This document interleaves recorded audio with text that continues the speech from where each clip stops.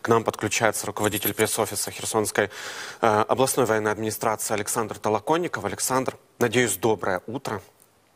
Доброе утро, слава Украине. Героям, Героям слава. слава. Александр, расскажите, как прошла ночь на Херсонщине? 65 раз э, оккупанты обстреливали Херсонщину, э, три раза по Херсону, по самому. Это примерно 400 снарядов, которые прилетели по мирным населенным пунктам.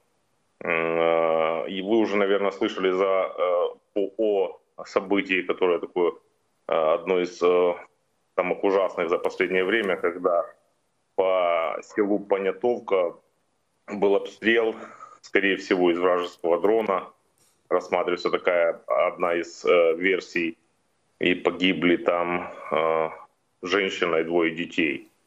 И это вот показывает всю э, ну, такой цинизм э, российский, российских воинов, которые как бы воюют и освобождают, но при этом целенаправленно сбрасывают э, снаряды, видят, куда сбрасывают, там, где во дворе ходит женщина и двое детей, и это, и это ужасно. Вот за весь период э, на сегодняшний день практически ну, почти 800 погибших мирных жителей с момента освобождения правобережной части области. Э, из них 5 детей. Ранения получили почти 600. И 21 ребенок пострадал. К сожалению, эта цифра постоянно увеличивается. Вот. А, да, да. Вы сказали э, о недавней вот этой трагической истории, когда э, есть предположение, что стреляли, ну, обстрел велся с дронов. Э, есть ли понимание, по каким объектам чаще всего бьют оккупанты, какие их цели, жилые дома, административные здания, школы, детские садики, или это безразборочная такая просто пальба, лишь бы нанести как можно большего вреда, ущерба и посеять страх и панику среди мирного населения? Абсолютно верно. Они прежде всего бьют по э, коммунальным предприятиям, школам, больницам, культурным учреждениям и по домам э, херсонцев и жителям Херсонской области. И э, мы постоянно видим, как вот в том же самом Казацком вчера тоже был туда прилет, до этого был прилет именно в э, двор школы, который был гуманитарным штабом, где люди в это время как раз разгружали э, именно товары, которые привезли как гуманитар, гуманитарная одна из миссий.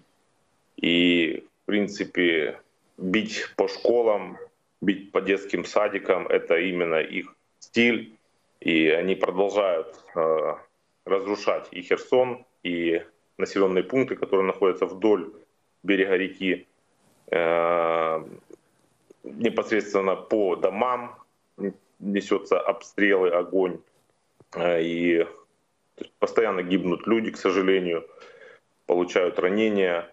И да, они пытаются разрушить инфраструктуру для того, чтобы люди не могли здесь жить.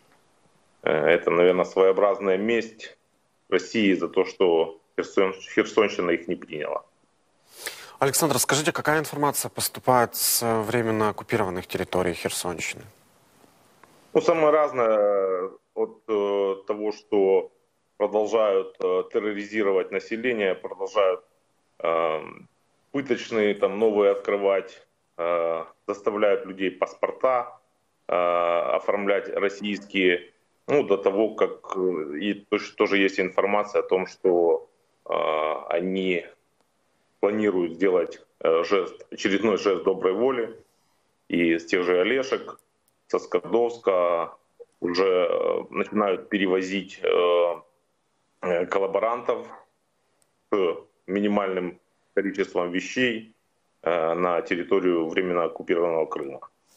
Э, также есть информация от полиции Херсонской области о том, что э, во вре- на временно оккупированной территории Херсонщины российские оккупанты отбирают у местных жителей их личные автомобили. Есть ли понимание, зачем они это делают? Ну, у них всегда был дефицит и огромная жажда наживы и жадность к тому, ну, к тому, что в Украине это есть, а у них нету. Поэтому Ничего удивительного, это мы видели и в Киевской области, когда они вывозили оттуда караванами и автомобили, и технику, и здесь сельхозтехники много. Поэтому то, что они там э, делают, это только показывает то, что они просто как варвары приехали нажиться здесь, и здесь они ненадолго. Хотя и на всех этих бигбордах, когда мы приезжали, приехали в освобожденный Херсон, было написано о том, что они как раз здесь навсегда. Да, а я видел, э, как э, местные жители уже после э, освобождения Херсона на вот таких вот бордах писали «Россия здесь никогда». Александр Толоконников, руководитель пресс-офиса Херсонской областной военной администрации, рассказал нам об оперативной ситуации на Херсонщине.